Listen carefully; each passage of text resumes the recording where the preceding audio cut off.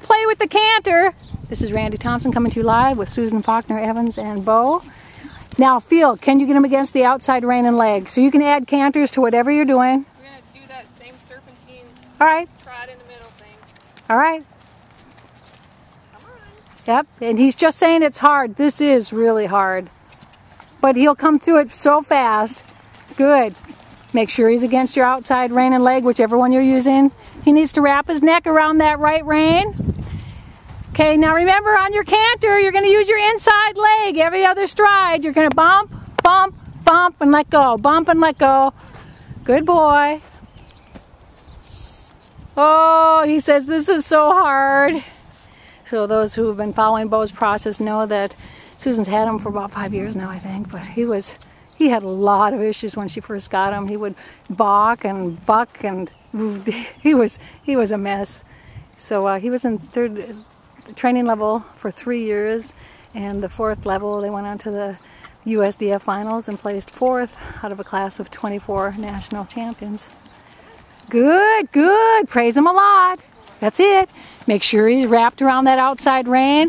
Inside leg, inside leg. That's right. Wrap him around your left rein. Get your left leg to get him to step up more. He's going to say he can't do it. That's right. Inside leg creates the rhythm. Leg, leg. That's all right. Needs to be more supple on the outside rein. By supple, we're using the steps of connection.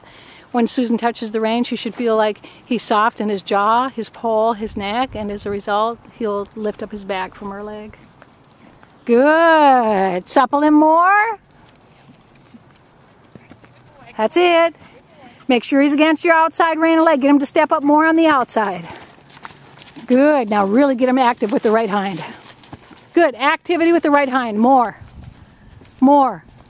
More. Good. You can feel it's picking up his balance a little different. Take your time. This is where normally he would push his haunches to the outside. Now you're saying push him under instead of to the side. Good. That's right. So now, whenever you feel like it, just start a curve to see if you can get him more underneath of you like you were doing at the trot. Start a curve, push him over to the outside rein and leg, and get him more active. As soon as you feel him coming under your seat, you can let him flow again.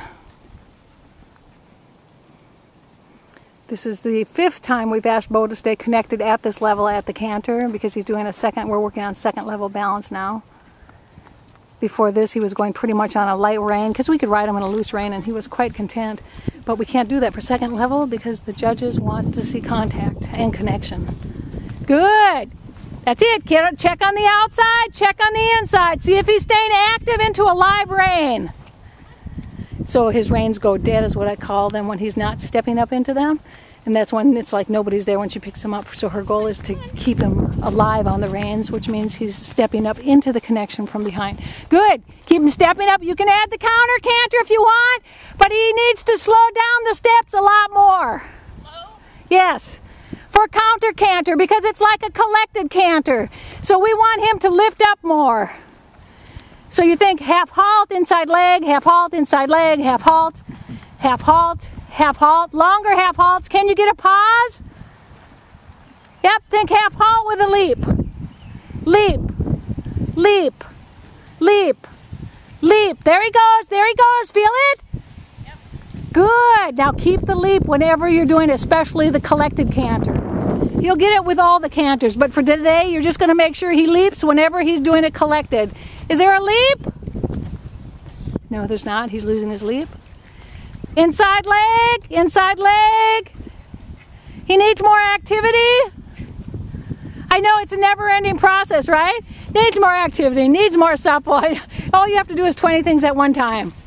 Good. Good boy. Take a walk break because this is pretty intense, isn't it?